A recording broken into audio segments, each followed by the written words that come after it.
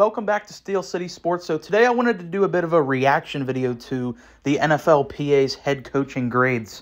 Um, so I don't know exactly what that means. Like, is this actual players sitting down, or is it people who work for the NFLPA doing the gradings? I don't know. You guys are gonna have to let me know down in the comments. But I found these some of these grades to be really fascinating. And I just wanted to talk about how I would grade these coaches. Um, if you were one of the people that saw the video I made about halfway through the, the, this past season, I did do a video where I ranked every head coach in the NFL. So I'll put a link to that in the description if you want to see how my thoughts kind of compare to now.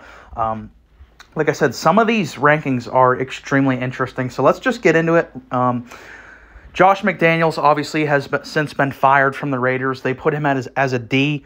Um, I would probably put him as an F. He had no business being a head coach, was basically incompetent. I don't even know why he got the job because we saw Josh McDaniels be a head coach before in Denver, and you know, it, it, went exactly the same way in Vegas than it, that it did in Denver. You know, some people are just supposed to be coordinators, and there's nothing wrong with that. You still make a lot of money as a coordinator in the NFL, and that's definitely the type of job that he should have as a head coach. It's just not a good idea at all. Um, he will never be a head coach in the NFL for the rest of his life. So F for me. Um, Ron Rivera at a C. I think is pretty fair, and I think he's kind of in a similar boat as uh, as Josh McDaniels. Not that he's as bad as him, but he's a guy that should now in today's NFL be a, a, coordinator, a defensive coordinator. I think he would be one of the best defensive coordinators in the NFL. He's a guy that could maybe get another head coaching job down the line. I think it's a very highly unlikely percentage that he's ever a head coach again, but I think it's possible. You know, we saw Dan Quinn do exactly like I think Ron Rivera is going to have a very similar career path that we just saw Dan Quinn do because after Dan Quinn left Atlanta or was fired by Atlanta, went to Dallas and was widely considered one of, if not the best defensive coordinators in the entire league. And now he's a head coach again. So, you know, if Ron Rivera goes somewhere like, I don't know, Philadelphia, well, no, they can't because they already hired Vic Fangio. But if he goes to like the 49ers, who have a vacancy there, um, and he just rocks it, I could see a team, you know, a desperate team going out there and getting him. Um, so C, I think is fair. Um, I, I, think he would be an A plus defensive coordinator, but as a head coach, C feels um, fair to me.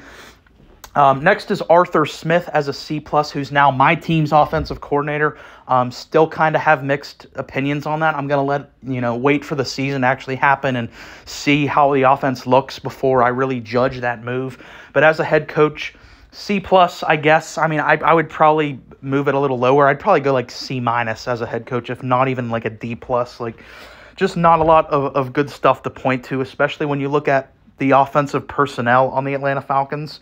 You know, they invested a lot of high end draft capital in bringing in some weapons there with Bijan and Kyle Pitts and Drake London.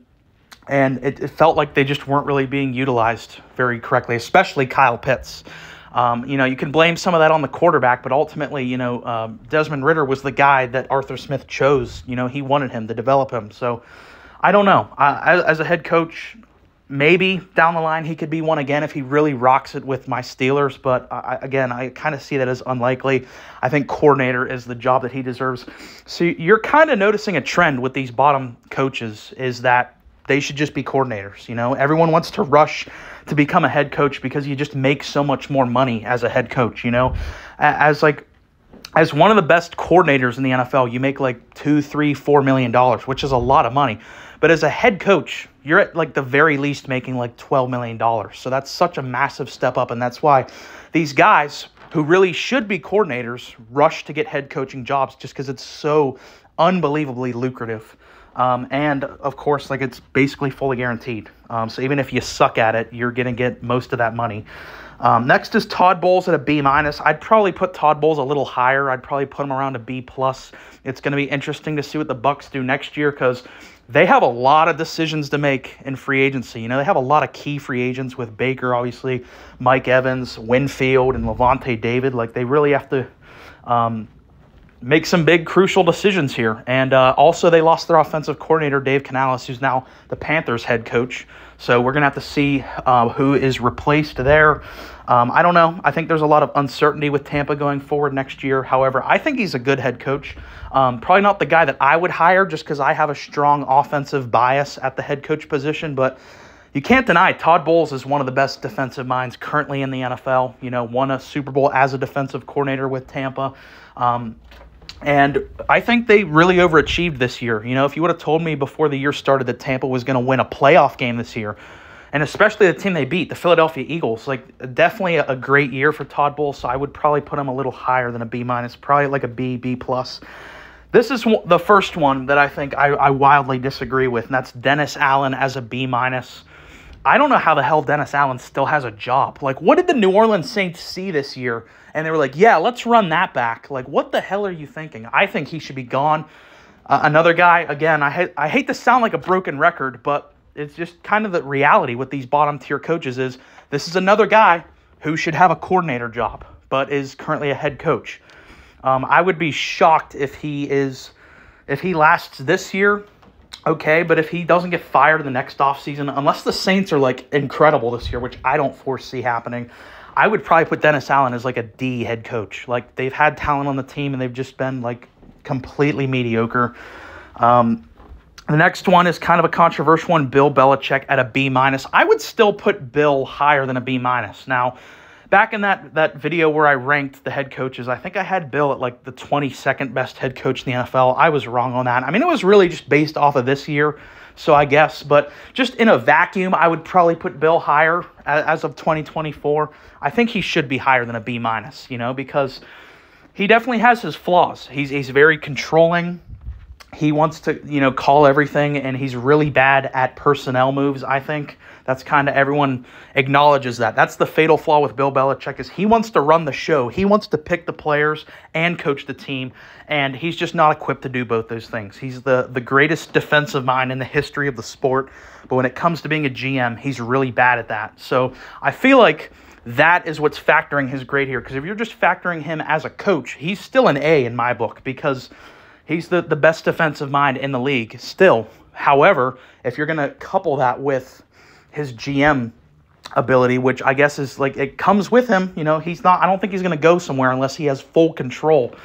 So, B minus, if you're factoring the GM stuff, I think is kind of fair. But just from an X's and O's standpoint, I would definitely rate him a lot higher, like an A. Um, Kevin Stefanski at a B minus is actually kind of interesting because this guy just won Coach of the Year. You know, he he's won two Coach of the Years just in his four years with Cleveland. So you know that right there should tell you like he's actually one of the best head coaches in the NFL. And I think he is really good. You know, I don't know exactly where I'd rank him now. I can't remember where I ranked him on that list, but um, had a hell of a year this year. You know, that's the reason why he won Coach of the Year, getting that, you know, that many different starting quarterbacks. You know, I think they had five different starting quarterbacks, and for them to still win 11 games, I think is, is wildly impressive for Stefanski. I would definitely put him a lot higher than a B minus. I'd say a A at, at the lowest for me. Um, here's a, another weird one Robert Saleh as a B. What has Robert Saleh shown you guys to, to warrant being a B? I think at be, like best case scenario, he's a C. He's a solid C.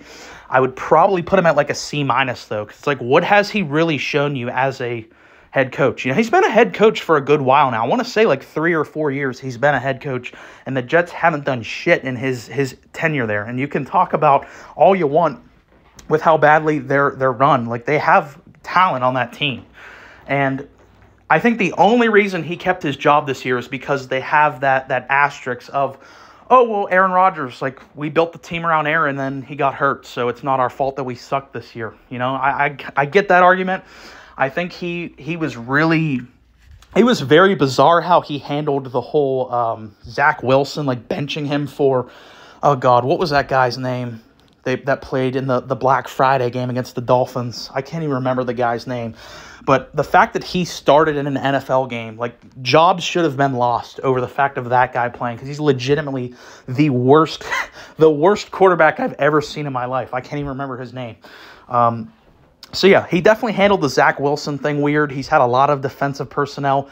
If they don't produce next year, and by produce I mean making the playoffs, he's going to be gone. I would be shocked if him and the GM last past next year if they fail to make the playoffs, which is going to be really difficult in that division. Now, this is if you've been a long time listener of the channel, this is the one that I, I couldn't disagree with more, and that is Brandon Staley at a B. the Chargers were about a day away from getting blacklisted on this channel because after that Raiders game, I said, sorry, I said if he's not fired by the end of this week, I'm never talking about the Chargers ever again on this channel. That's how the ugh, just talking about him gets me worked up because he's the biggest fucking idiot I've ever seen have a head coaching job in the entire NFL. And I'm already hearing chatter that he might get a defensive coordinator job, which just kind of goes into another narrative of like, who do you know? Because he's friends with a lot of like the high end coaches. Like he's good friends with McVay, he's good friends with Shanahan. So it's going to drive me nuts if I have to talk about him again. I think he's a complete moron. Um, it, it's one thing to be a bad coach. Like we've seen other bad coaches, that's fine. Um, go to like bad organizations. You think of like Freddie Kitchens or Hue Jackson, like some of those really bad Browns head coaches. At least they have the argument of, well, my team sucked. Like, what do you want me to do? Look at the, the players on the field. Look at the roster Brandon Staley had. It's a like God squad, like a superstars everywhere, Hall of Fame level talent all over that roster, all pro level guys all over that roster, and to for how bad they were this year, I, am so glad he got fired because if he would have kept his job, I legitimately would have had a brain aneurysm if he would if he was still employed by the Chargers. I would have lost my mind. He was public enemy number one. Like I said, if you're a longtime listener of the channel, you know how I feel about Brandon Staley. We did countless rants about him over this past season. The fact that he's a B, I think, completely like delegitimize, delegitimizes this list. I completely botched that word. I'm not even going to try it again. But that's awful. You know, I, I, wouldn't even just put him at an F. Like, I would ask, is there a tier below F we can put Brandon Staley in where he's just in his own tier as the worst head coach I've ever seen with my two eyes? Um, sorry about that. Uh, uh, Matt Eberflus is next at B. Um, I can kind of see it because he's a really good defensive mind. Um, but I, if I'm the Bears, there's no chance in hell that, that he, he would be back just for the fact that you're going to be drafting a generational quarterback, I would definitely love to have like an offensive mind in there to work with Caleb Williams going forward. But that's not the Bears' MO. You know, they definitely stepped out of their comfort zone hiring uh, Matt Nagy. They ran him out of town and brought in a defensive guy. So it fits with their culture to have a defensive head coach. I think he can definitely coach the defensive side of the ball. Not really my cup of tea, though. I'd probably put him more towards like C, maybe a C plus but I think B is a tad high for him. Next is Mike Vrabel, B plus, currently unemployed, uh, will not be coaching next year, and uh, an insane thing to me. Like that's crazy that he's not going to have a job next year because I think he is a top 10 head coach. You know, I would definitely put him higher than B B plus. I'd say at the very least an A to A minus. Um, you look at the rosters he had with Tennessee, and they were basically an AFC juggernaut for a little stretch of time. You know, went to an AFC title game. They were a one seed, and he was doing that all with Ryan Tannehill as his quarterback. I think he's really good at getting the most out of guys because, like, player for player, their roster was never really that impressive. Now, I never looked at the Titans and was like, wow, that's like a top five roster in the NFL. Yet somehow they got to an AFC championship game and somehow they were a one seed. Like that's really hard to do. So I give him a lot of credit for that. I'm pretty sure he did win a coach of the year, so he's really good. I'm shocked that he didn't get hired by any of those teams. Um, Matt LaFleur, B plus. I think Matt LaFleur is honestly the most underrated head coach in the NFL. Just looking at what he did with uh, Jordan Love this year, I think speaks volumes to that. Um, even like with Aaron, like Aaron Rodgers last year with Mike McCarthy, Aaron Rodgers was still in his prime, but statistically was not looking very good. That's why they drafted Jordan Love. Like it looked like he was taking a step down, starting to go towards the later part of his career. And then you bring in Matt LaFleur and like completely changed the offense and led to Aaron getting back to back MVPs. And now he's trying to do it again now with Jordan Love having a phenomenal year. Um, and this is another thing, like you just compare it to in division like, look at the Bears compared to the Packers with their quarterback situation. You give your young quarterback who needs development an offensive mind who he can work with, who he can bounce things off of, who knows what he's talking about. You see how, how much better developed Jordan Love is than Justin Fields because Justin Fields has a defensive head coach who doesn't really get the offensive side of the ball, who can't really relate with Justin Fields. So I think that's a big deal. I think he is, like I said, the most underrated head coach in football currently. Next is Jim Harbaugh at a B plus. Um, I don't know if it's a Steelers fan, if I'm like subconsciously wired to just not like him. I think he's definitely overrated. I think his career was saved by Lamar Jackson. Like Jim Hart, or excuse me, not Jim, John John Harbaugh was going to be fired by the Ravens had they not lucked into Lamar. So I give the GM a lot of credit for pulling the trigger on Lamar Jackson, taking him with the last pick in the first round. John Harbaugh, like his entire career for me was saved by Lamar. He's really good at building staffs. I think like when it comes to building a coaching staff, he is among the best in the NFL at that. But from an X's and O's standpoint, he doesn't call the plays. Um, so yeah, he's he's like more like a CEO type coach where he just manages the team. He's good at that. I just think he's he's overrated. A B plus, I guess, is fine um, because you know he did definitely embrace Lamar, but like I said, I think he really really lucked into getting Lamar Jackson, who saved his career. I'd probably put him at like a B. Um, DeMeco Ryans is next up as an A minus. Was a rookie head coach this year, obviously, and was a freaking stud. I think A minus is definitely warranted. You could definitely even talk me into A. Like going to a franchise that was a perpetual disaster for like half a decade. And then he goes there and they go from worst in their division to best in their division and won a playoff game with a rookie quarterback beating the number one pass defense in the NFL in their playoff game. The guy's a stud. Can't wait to see what he goes on to do because I think he can be one of the best coaches in the NFL. I'm talking like top five. He's that good. Um, and it's crazy because he's defensive. Like, I don't know. Like, like I said, I have a strong offensive bias, but DeMeco, he's just doing something right, and he really feels like he's like a player. Like that's how he coaches, and uh, he's just, I think, one of the best motivators. His guys want to run through a brick wall for him. He's just awesome. Here's a crazy one Frank Reich, because Frank Reich didn't even last the entire year, yet he was rated as an A minus. You know, Frank Reich is one of five coaches in the history of the NFL to be fired before his first season came to an end as a head coach. Like that is historically dreadfully bad.